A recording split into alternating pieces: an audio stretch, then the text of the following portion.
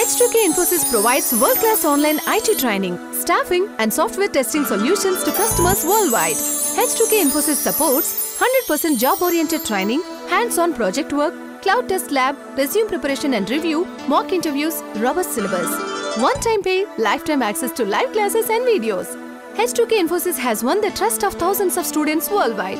For free demo class, visit h2kinfosys.com.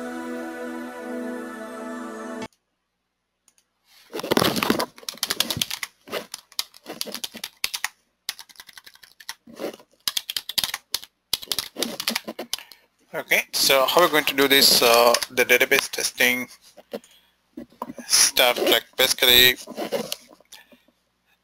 we're going to do this, first let's try to understand some of these concepts, like how you can do this uh, database testing. Here, first we need to create, basically there are a couple of things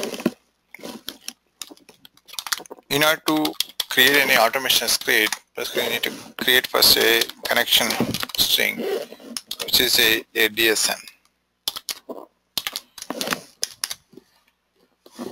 So what this connection string mainly contains is the ODBC, the drivers, and uh, the database details.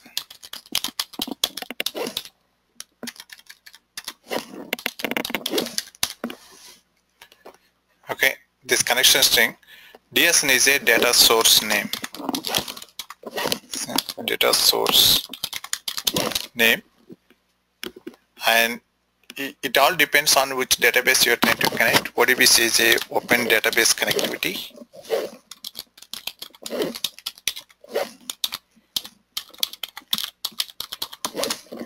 And then how you're going to define this uh, ODBC drivers is it's a like it's an interface. Or we can also say like the APIs application programming interface.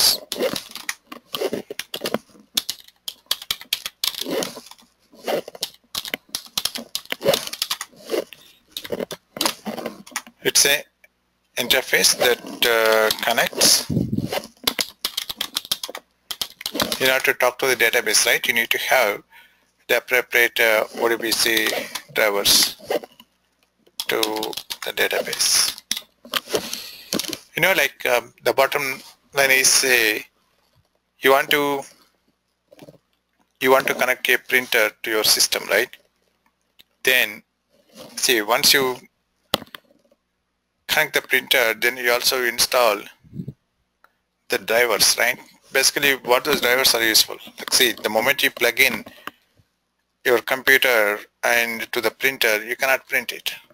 So, so you need to install this soft, the printer software, which are the ODBC drivers. Uh, sorry, which are the device drivers.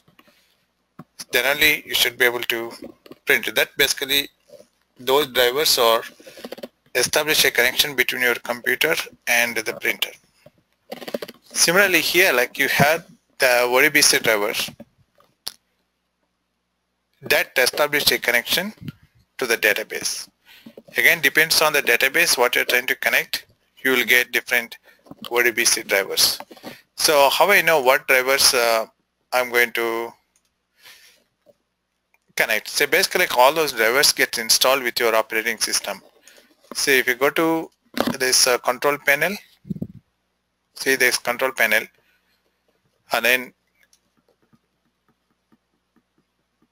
if you go to this administrative tools then there is a data sources ODBC section so if you select this one then here so if you add then it's going to show you all the list of ODBC drivers see just you click on this add it's going to show you the list of ODBC drivers.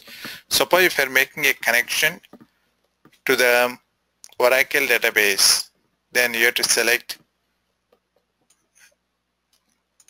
this one, Microsoft ODBC for Oracle database. If you are connecting to the SQL Server database, you're going to select this SQL Server ODBC driver. So depends on which database you're trying to connect, you're going to select the appropriate ODBC driver from this list. Either it's a SQL, it's, it's a SQL Server or Microsoft ODBC for Oracle. So you have this list of ODBC drivers. So once you establish a connection to the ODBC drivers, right, then you should be able to um, make a make a connection to the database. So the first part is you need to select the ODBC drivers and then you're going to provide the database details. So what we're trying to do is like this is the application where we can access this application database. Um, let me show you. See all this uh, sample application that comes with uh, this UFT. See here like you'll find this flight, the GUI and this is the GUI part and this application use a database that also installed on your system, the database that this application use. So this is the this where the location of the database what this application uses okay this the this is the front end say for example when I log in right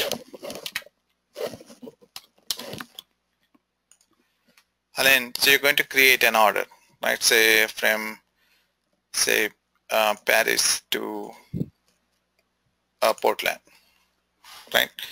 And then you can select the date and find flights. Then you're going to select a particular flight from this list. Then you're going to enter some passenger name right?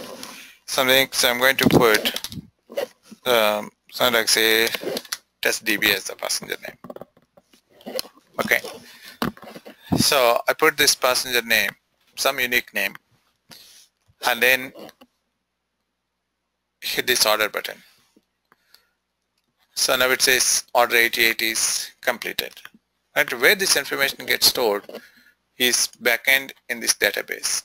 If you look at say I already connected to this database, uh, I'm going to show you one more time how you can establish a connection, how you can control the database. Um, so here, like we're, we're talking about the ODBC drivers, right? So first you are going to create a DSN, data source name, in order to connect to the database. See, this is the database whatever the information that you provided from this GUI, all this information gets stored into this database on the backend. So now you are making a connection to this database to see what data is stored. So what you're going to do is first you need to create a DSN for that. So how you create a DSN? So basically you're going to select say add and this particular application is using this is the S3 DB file right which is a, a, a database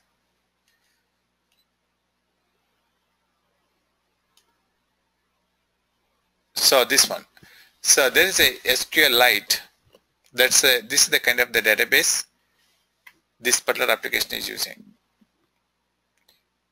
SQLite Best, maybe sometimes like you don't see this ODBC driver. If you Google it like the ODBC driver for SQLite, then you should be able to install those drivers also from Google. So this is the SQLite, uh, the database.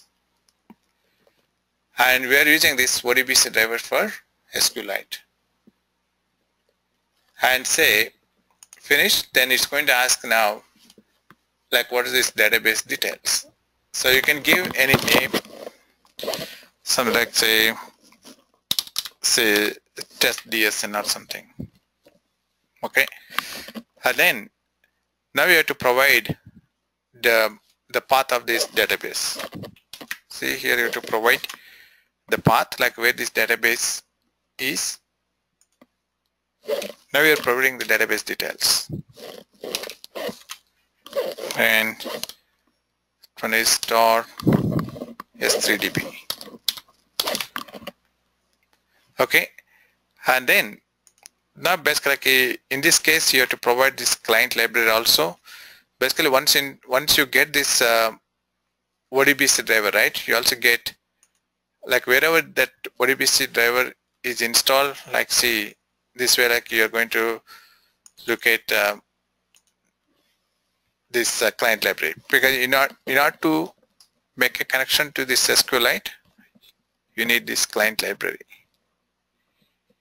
This all comes with uh, that ODBC driver. Okay? If you click on this uh, browse for but button so you see see SQLite studio and then you will get those the DLLs here. It's asking the client DLL that is qt5 core.dll then you're going to hit OK.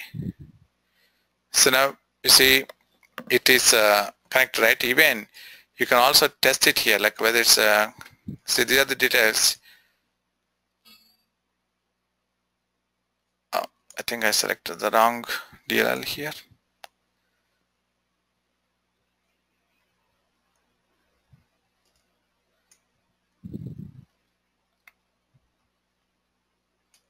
Think this one. Up. So it says the connection is successful right? Basically you are going to click on this add button and you're going to select from that list of the drivers you're going to select the right ODBC driver. Like in this case in this application is using SQLite database right? This is the database. But if you're if in reality like if you if your application is using say Oracle database just click on this add button and that time you're going to select the Microsoft ODBC for Oracle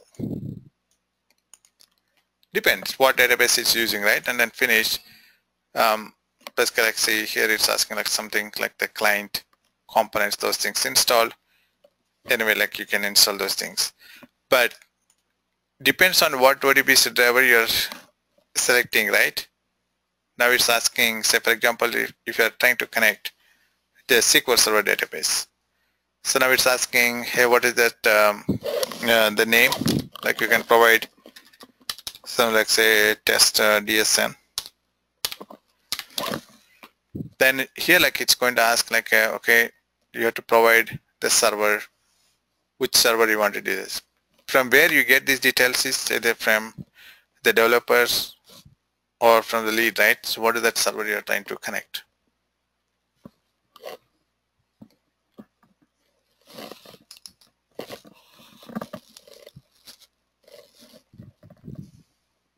So sometimes it's going to show you the list of the servers here or you can also enter the server name.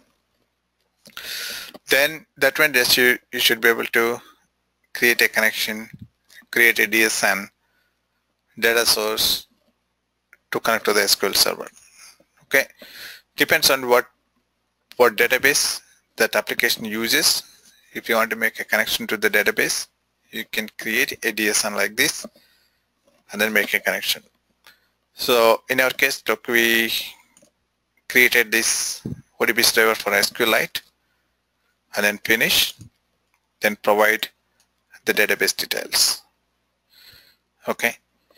Um, so here you're going to provide all the details. What's the data source name? You can give any name for the data source name.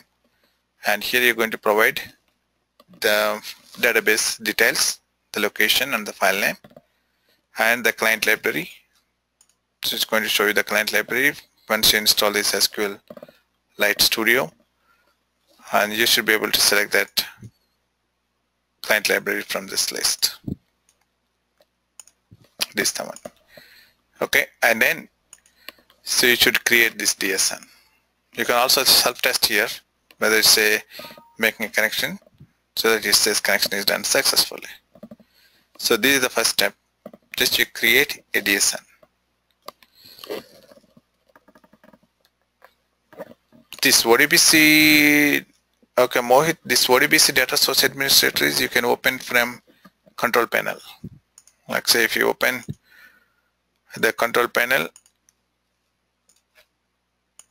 so this way like you go to the control panel from your startup menu. Then there is a administrator tools. And then you see the ODBC data source section. This is where it's going to show you those things.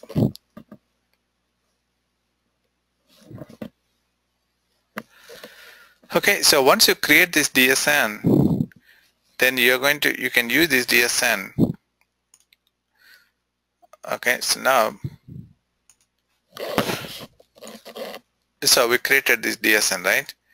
Now say for example, like I'm going to, it created this order 88 is completed, right? Now I want to check whether this um, order is created successfully in the database. So basically like uh, in UFT, like you can create a just to look at the database, right? You can create this database checkpoint. You can create this database checkpoint. Then you're going to say create query using Microsoft query, right? Just you select the first option and next. So now it's going to show you the data source, what you created. See, and you can select what are the data source. Like say we created test DSN right? So you're going to select this data source and click OK. Now it's going to show you the tables from that database. See? Now you want to look at which table you want to query right? Say I want to query the orders table. So select this orders table and click on this greater than button see it's going to show you all the columns from the table. See and click on next. Next and um,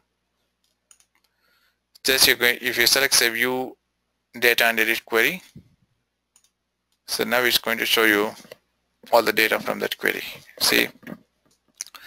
See basically like it says like order 88 is completed right? See this is the order just uh, just now it's created. See the order number is 88 and what are the customer name we provided? Right so test db so that's uh, passenger name. And uh, the flight numbers is going to show you all the details how it's stored in the database.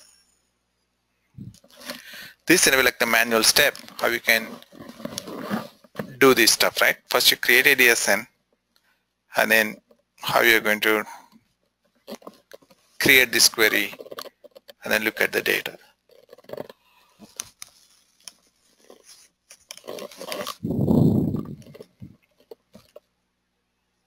This clear? Now how you can do this uh, automation, how we are going to develop a test script in order to do this thing.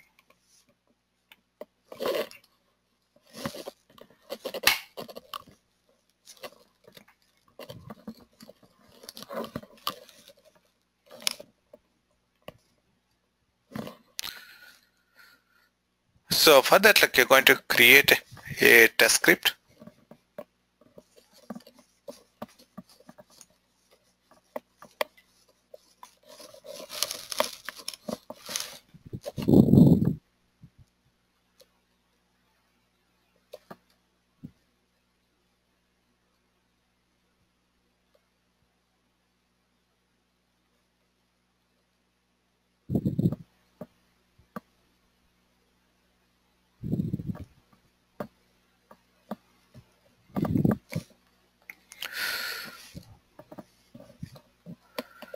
Um, I mean, if you're, are you using UFT 12 version such a, or 11.5? Yeah, if you're using 11.5, basically what you have to do is uh, you can um, you can use I'm going to show you you need not install this SQLite basically for for 12.5 the application is using different database. There's UFT tool. With 11.5 it's using access database. So that's a pretty simple like um, see in order to do this access database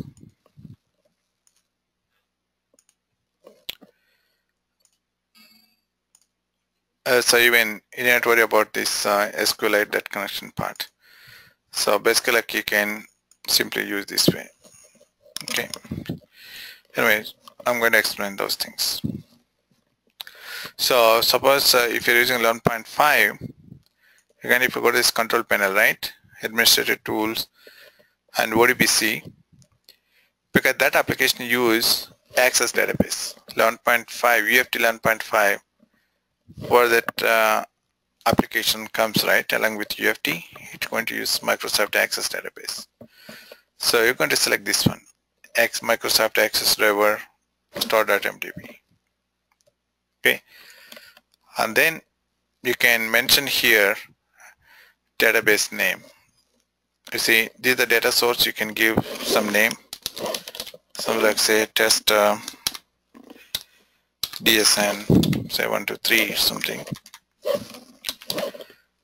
Then you're going to select here and you can mention you can you can mention the location. So most of the time you will get the location of the database here. This the this way like you'll get the database is located. So you're going to provide the same thing here. Anyway like in my case the database is not there because I'm using UFT12 but here once you provide that location of the database then you should be able to create a DSN okay.